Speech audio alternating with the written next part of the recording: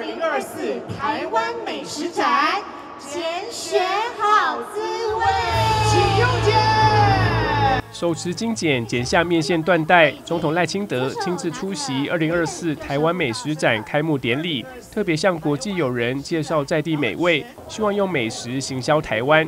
尤其全台料理和景点各具特色，适合用吃来带动观光发展。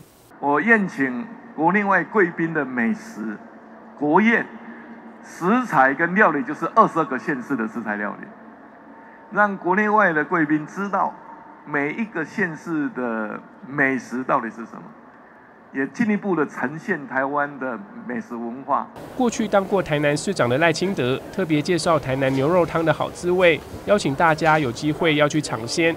台南市政府这次也带来知名小吃、果干零食等一起参展，还有米其林餐厅主厨分享私房创意料理。七股灯塔下的沙巴鱼，然后有得过神农奖的猪肉，然后有香菇、有花生、有咸蛋黄，然后还有还有红葱酱。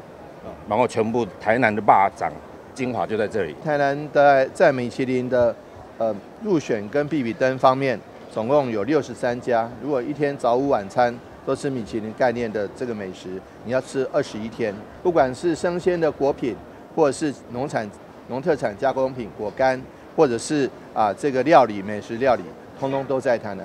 台南食材丰富，又有历史悠久的饮食文化底蕴，堪称是美食之都。市长黄伟哲经常率团到日本东京、新加坡和韩国首尔等国家城市宣传，希望借由美食打响国际知名度。这次北上参加美食展，要让北部民众更认识台南特色美食，增加旅游商机。记者邱世明台北报道。